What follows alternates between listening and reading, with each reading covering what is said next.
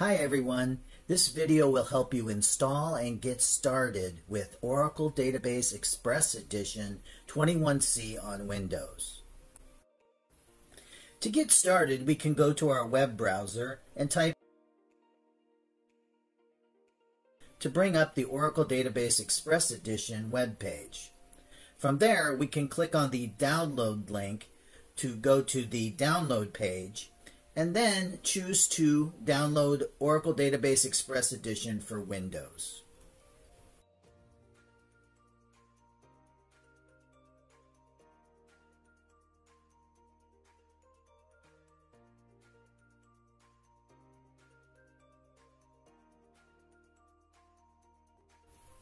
Once you've downloaded the .exe zip file, extract it and go into the directory that contains the installation files.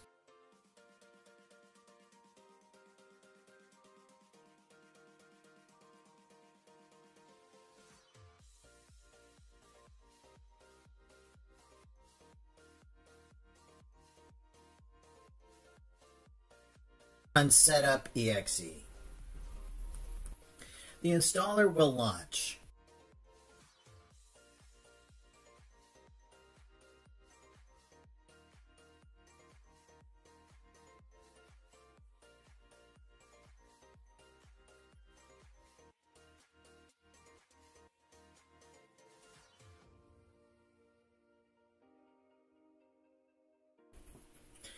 Click the Next button accept the license agreement, press next. Make sure that the installation directory is where you want to install. And finally, enter a single password that will be used for the sys, system, and PDB admin accounts. On the summary screen, make sure that everything's okay and then press install. The installation should take about 20 or 30 minutes depending on your system configuration.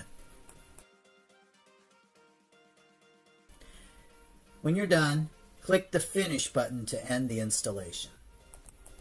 Now we are going to open SQL Plus and access the database. Click on the Start menu, locate the Oracle folder, and run SQL Plus.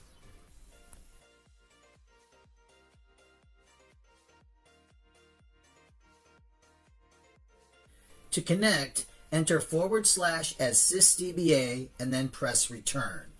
Note that whoever installed this database will automatically have sysdba privileges and will not have to connect with a password. Now we'll get a list of the pluggable databases in this system by typing select name from v PDBs. And you can see that XEPDB1 is one of our pluggable databases is you can open up a command prompt and type lsnrctl status, listener control status. And this command will give you a lot of useful information, including the host name, the port number that the service is listening on.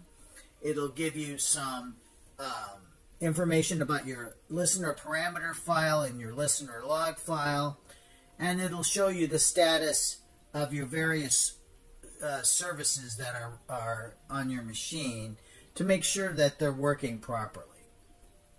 Then we'll connect to that pluggable database by saying connect sys slash password at hostname colon the port number 1521 slash xepdb1 as sysdba.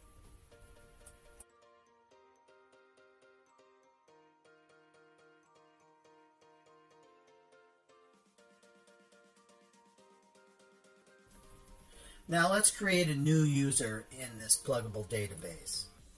So we'll type create user, demo user, identified by the password, default table space, users, quota unlimited on users. And then let's issue some grants. So grant create session, create table to demo user. And finally, let's connect to that user. So we'll type connect demo user forward slash password at the host name colon the port number 1521 forward slash xepdb1. And note that you can use this connection string format to connect to non-local databases. You would just need to change the host name to the name of the machine where the remote database is located. Now we'll create a table so we can test this out. So create table test table. Test column number.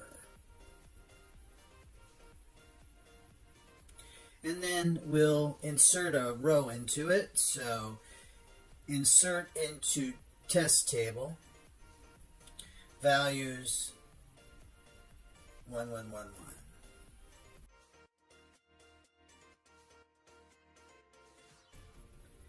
We'll commit it, and now let's try selecting against it. Select star from test table.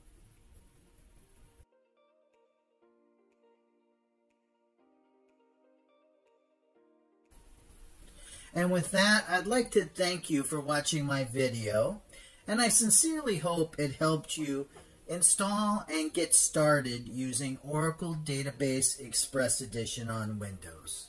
Have fun!